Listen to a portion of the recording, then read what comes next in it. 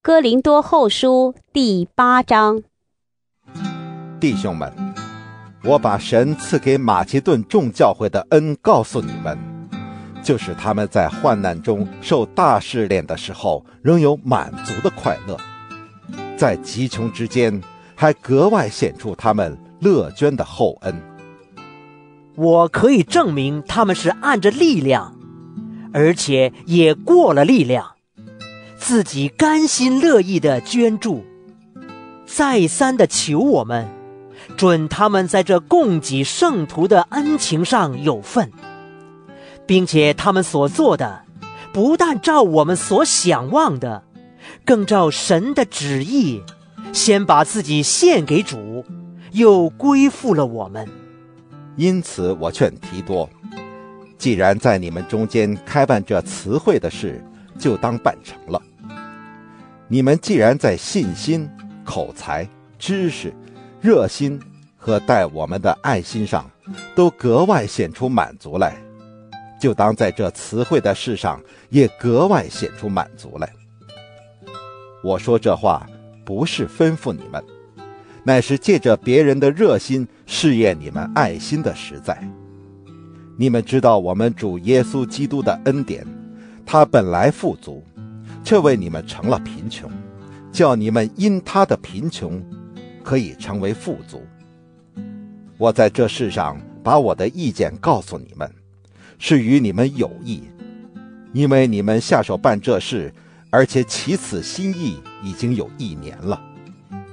如今就当办成这事，既有愿做的心，也当照你们所有的去办成，因为。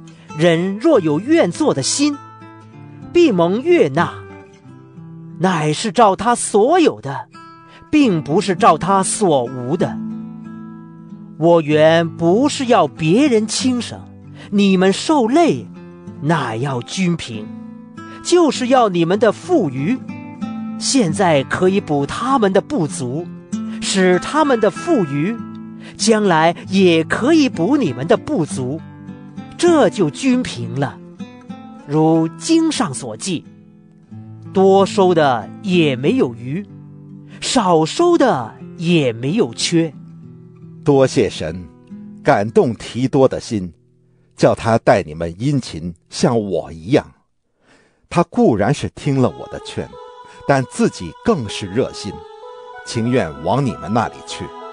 我们还打发一位兄弟和他同去。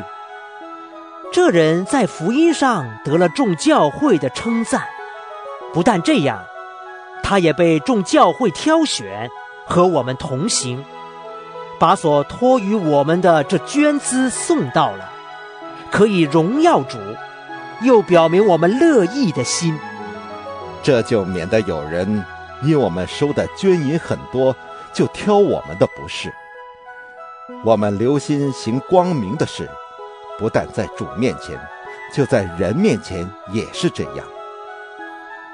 我们又打发一位兄弟同去，这人的热心，我们在许多事上屡次试验过。现在他因为深信你们，就更加热心了。论到提多，他是我的同伴，一同为你们劳碌的。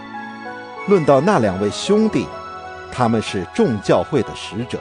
是基督的荣耀，所以你们务要在众教会面前显明你们爱心的凭据，并我所夸奖你们的凭据。